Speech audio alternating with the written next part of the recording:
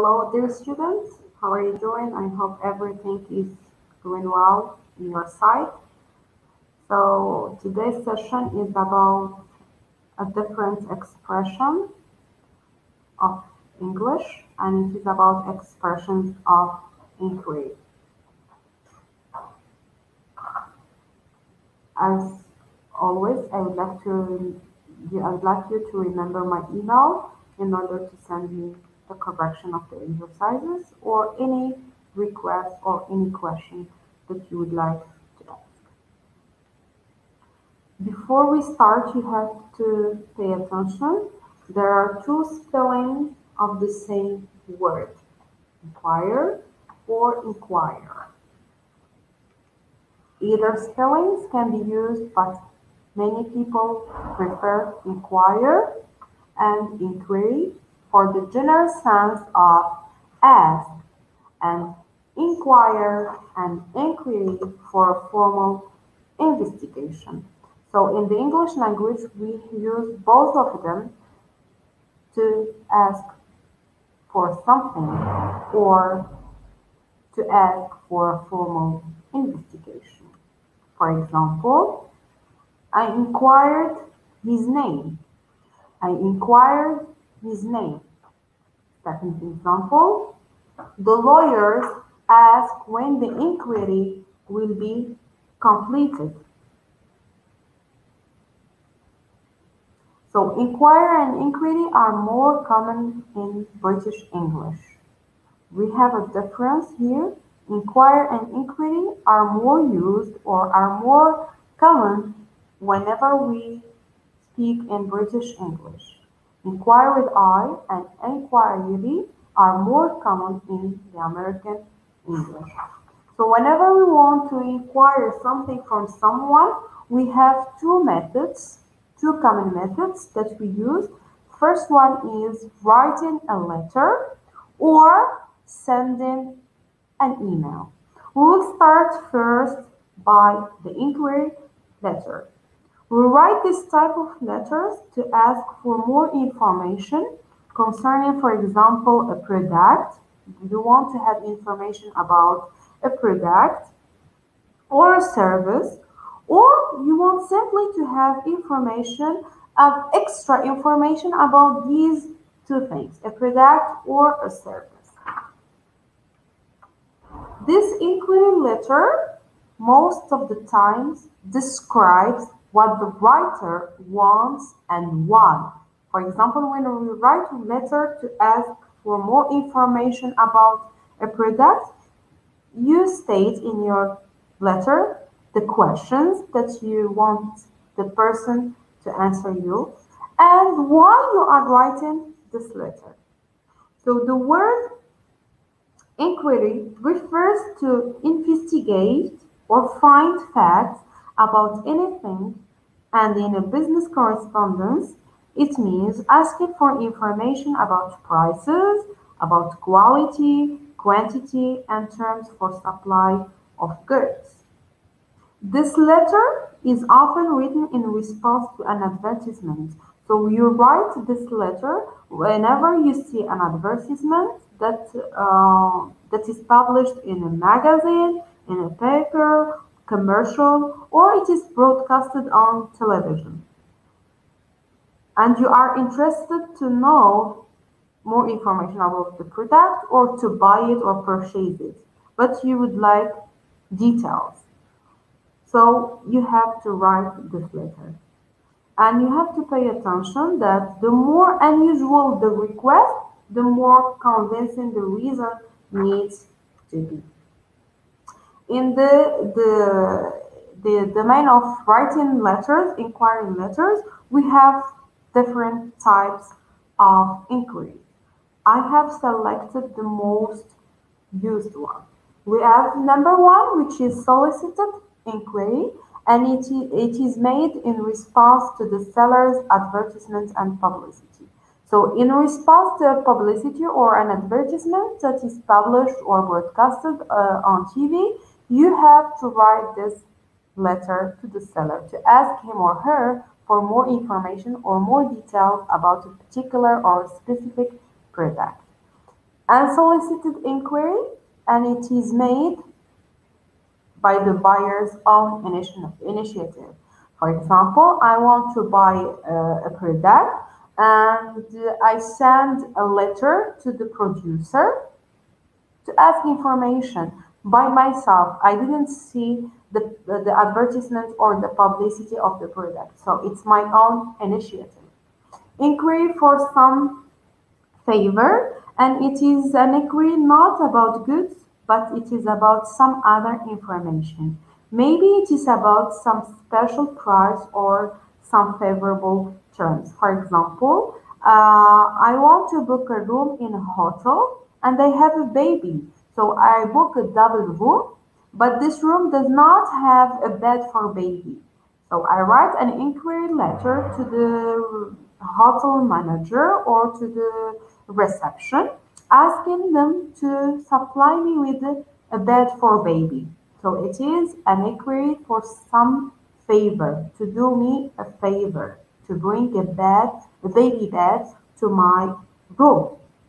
The next type, it is routine inquiry and it is an inquiry made by an old buyer in the usual course of business. So it is a routine uh, letter that you write each time. Whenever we want to write a letter, we have to pay attention to the structure, to the form, to the content, but mostly a letter of inquiry should be straightforward, which means direct. You have to mention what you want to, to ask for directly, compact, and courteous. It should be positive and, uh, and with confident tone, which means that you should say directly what you want in a confident manner and in a positive way. Brief and to the point, which means simple, clear, using simple sentences and direct ones to the point. You should not say a lot of details in your letters, in letter, but you should give uh, brief sentences and direct, yet it should be clear, complete, and correct. And here we are talking about the language. It should be clear language, complete means structured sentences, and correct, which means the language should be correct without errors or mistakes. Uh, if we want to talk about the content of your letter, you have to pay attention to number one, subject hidden, and in the subject hidden, it should inform your reader that it is an inquiry or a request. It's not another type of uh, letters, but it is a letter of inquiry. For example, it's, you can write inquiry about textbooks. So I'm writing this inquiry letter to ask you for more information about textbooks or to ask you to send me textbooks it depends on what you have in the contact the content of the letter. Or maybe you can just write request for books or query about website. So I have to tell you that inquiry, request, query, question, they have the same meaning. All of them, they mean that you need information or you need more details or you are asking a question about a specific thing. The last one sorry, it's a question regarding product price. So these are some examples of the content or sorry, the subject hidden that you have to write in your letter, the top of your letter. Now let's move to the first paragraph. This first paragraph of your uh, letter should tell the reader what you want. Why are you writing this letter? For example, please send me, and here you have to mention the things that the organization or the company or the enterprise should give you. Please send me more information about the products that you are producing. Or I would be grateful if you could tell me and of course you have to add the things that you are not normally offered. And here, as you can see, we should use formal expressions polite expression also. Number three, I'm writing to inquire whether, and you add the, the, the, the, the sentence to your phrase to see if something is possible. For example, I'm writing to inquire whether it is possible for you to send me 10 boxes of X product. Okay? Number four, I would especially like to know, and here you have to add more detailed request. I would especially like to know, and you add a more detailed request. Number five, could you also, and here you have to add an additional inquiry or request. For example, you have asked um, a hotel manager to send you the prices of double bedrooms and you say, could you also send me the availability of rooms between the, uh, the dates, for example, the 1st of January till the 12th of January. So here it's an additional inquiry that you add to your previous one. Let's now look at some examples of sentences where you can use these expressions of inquiry. I'm interested in an English course at your school. Could you please send me the brochure by email? Example number two. I'd like some information about room availability in your hotel. Number three. I saw your brochure about adventure holidays and I'd like some more information. Number four, I'm writing to ask about your prices for the next weekend. So these are some examples that you can, of sentences that you can use whenever you want to write an inquiry letter. But pay attention, this is only for the first paragraph. Now let's move to the second paragraph. This paragraph actually tells the reader or the person who is going to read your letter why you are contacting his or her organization and gives further details of the inquiry. So here we have more detail. And as you can see, there are two reasons why we may contact an organization. When I say organization means a company, a firm, or enterprise. The first reason it is you have contacted this organization before and you want to again. So we have contacted the organization by phone or we have visited the organization or maybe you have sent a letter to the organization and now you want to do it for a second time by sending an inquiry letter. Or maybe the second reason is you have not contacted the, this organization before but you have heard about them. So we have heard about them from a website or maybe from uh, on TV or on radio, and you should describe from where, such as from an advert or recommendation. So do, the first one, you know the organization, you have contacted them before, but in the second case, you do not know the organization. What you know about it is you have seen it in an advert or you have been recommended or you have uh, someone have recommended this organization for you. Let's look at some examples of sentences. I saw your online advert on a website. I didn't mention the name of the website because it depends on the writer. On Thursday, 24th October 2020. So this is the, the, the, the case where you have seen an advert or publicity of the organization on a website. And you have also, and you have to pay attention. You need to mention the website. You need to mention the date when you have seen the adverts because sometimes adverts they keep changing. Second example, your enterprise was recommended to me by Mrs. Faulkner Margaret of Broccoli Logistics.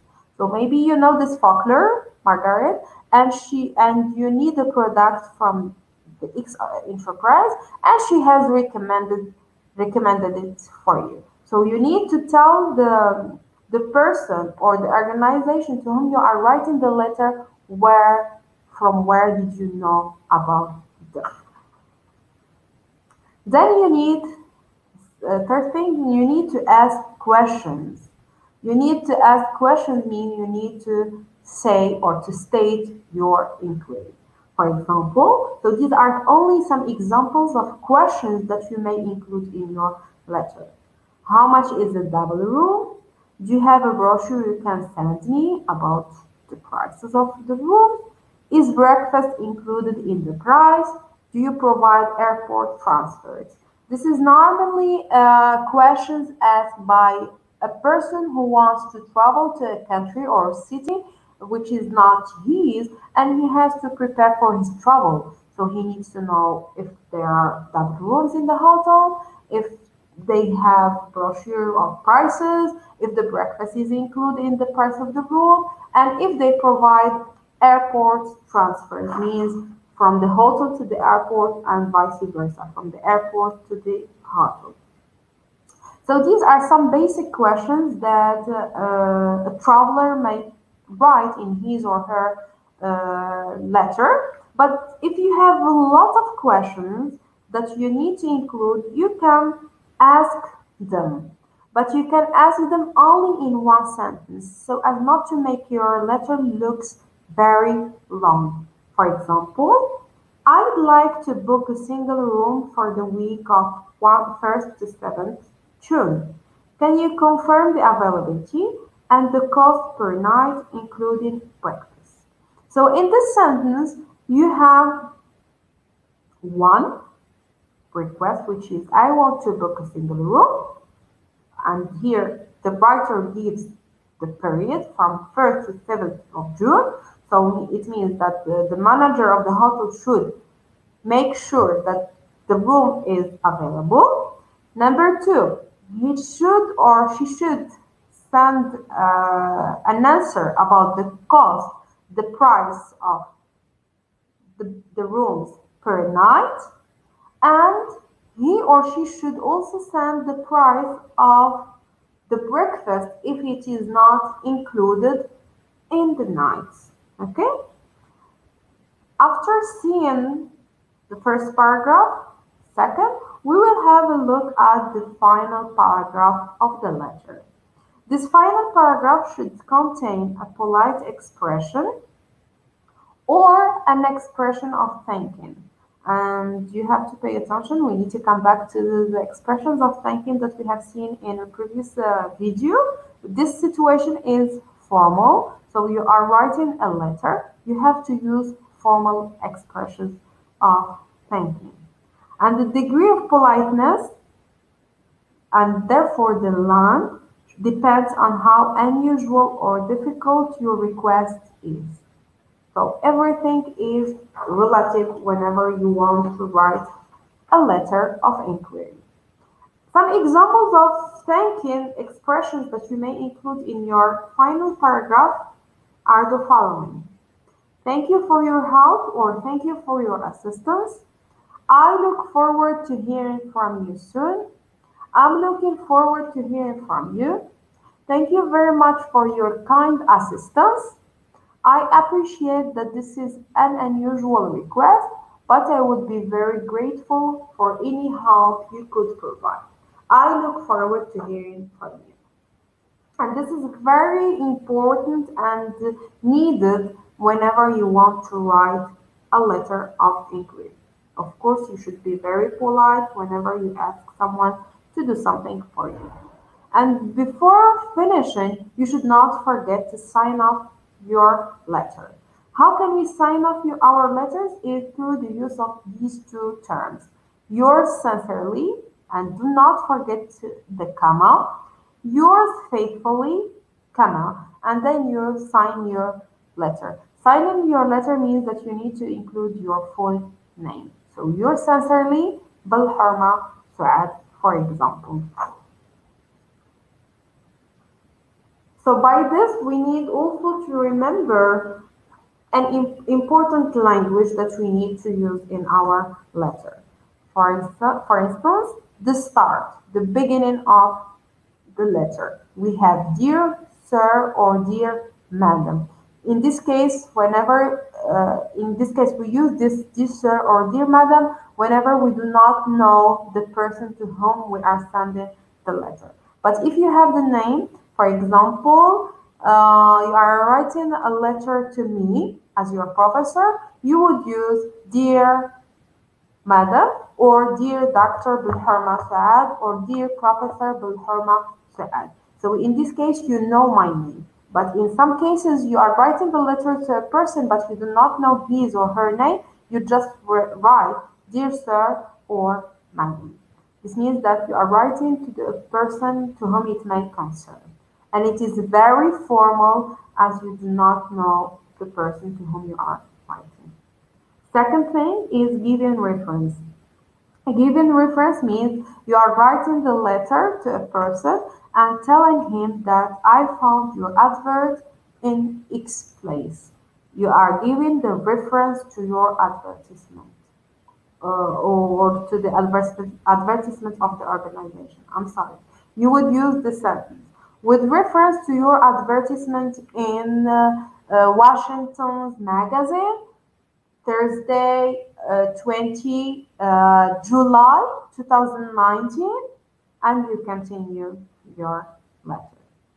The third thing is requesting a catalog or brochure or it depends on what you want to ask the person After the reference, you have to add the comma and continue your sentence saying, could you or would you please send me a brochure of prices?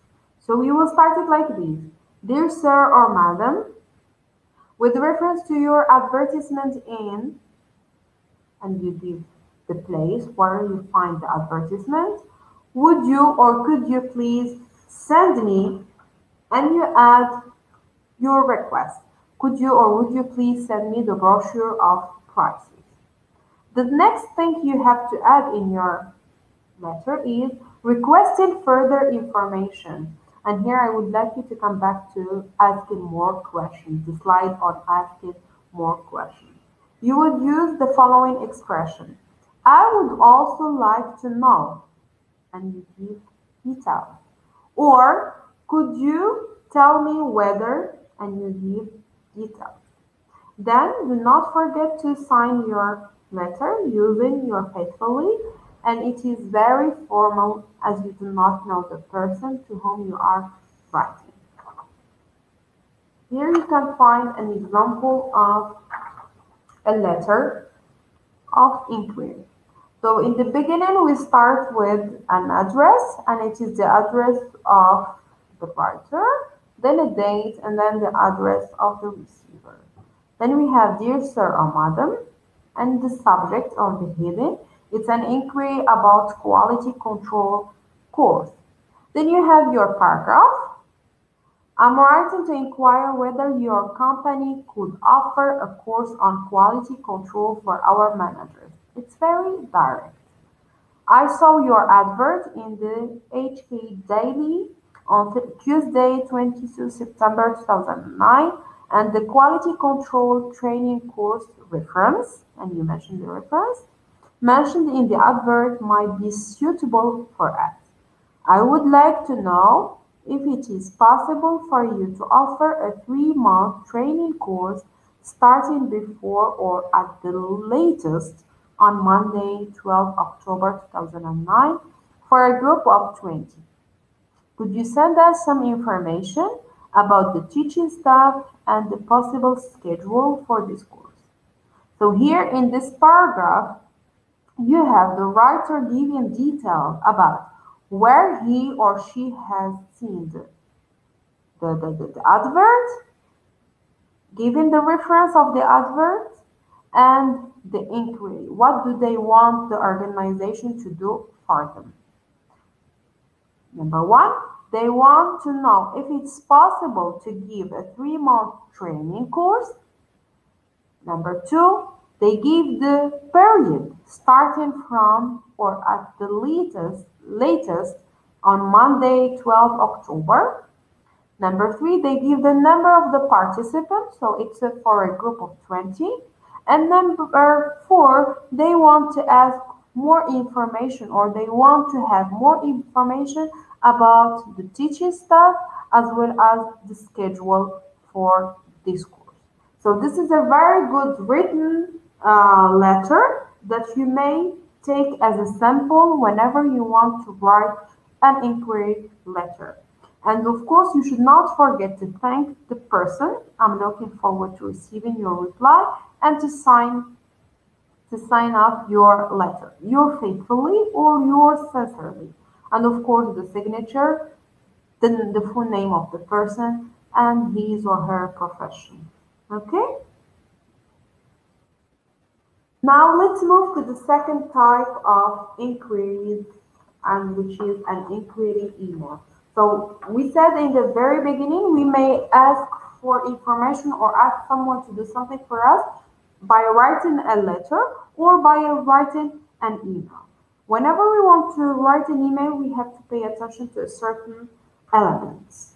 I have put them in a table where we have two columns. We have the first one, it's about the context, and the second one, it's about the language used.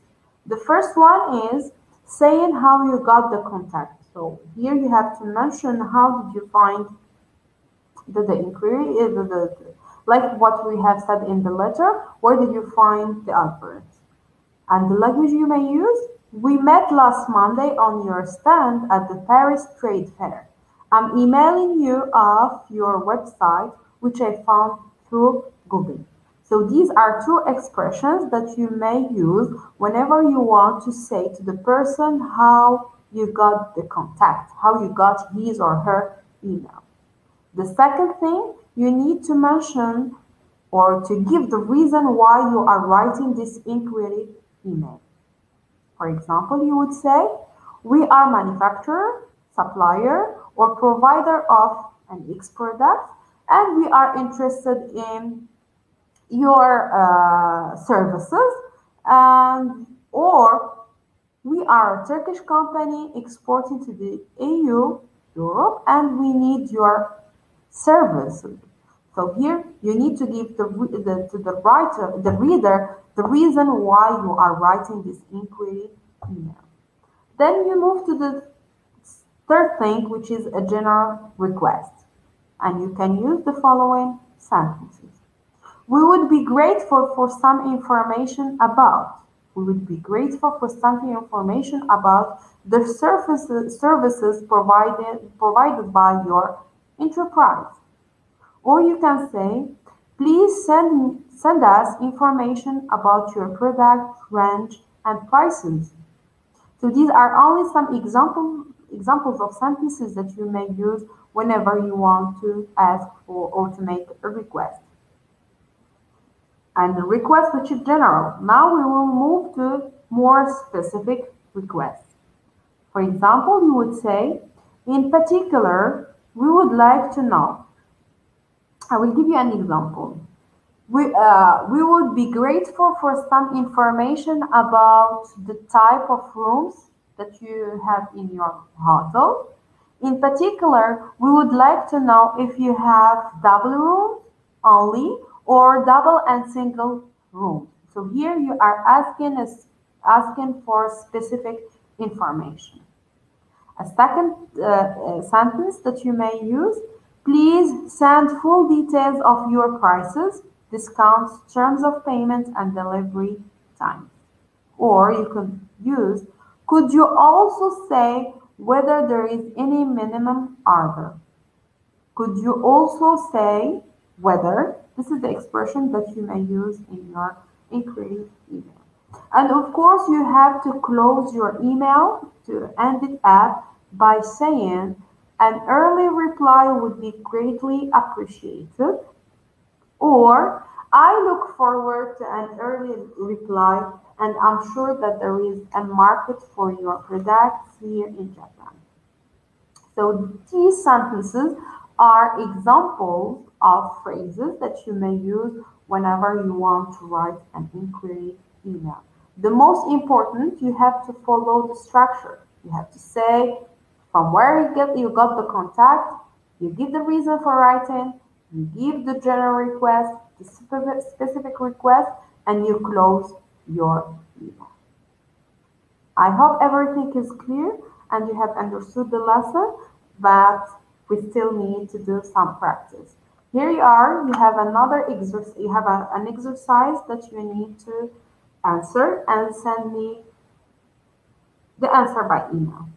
So now you need to write an inquiry email to a hotel manager. Select any hotel you want and write an email to the hotel manager asking about room availability and the prices of different services. For example, the price of the room, the price of the spa and the massage, the price of the meals, breakfast, lunch, dinner, the price of uh, sports, if they have any sports uh, room, etc. So you have to write an inquiry email to hotel manager asking about room availability and the prices of different services. Imagine, for example, you are uh, an enterprise and you want to make a training for your employees in a hotel and you want to ask for different services.